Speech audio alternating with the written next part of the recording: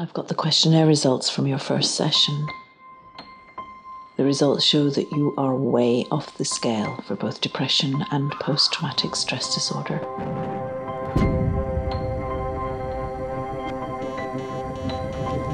It's in my head. And I can't get that image out of there. So you're getting flashbacks then?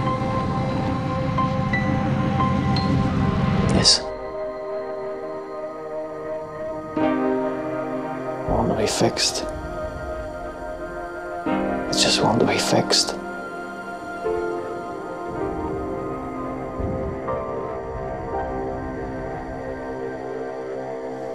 Lads can see me now.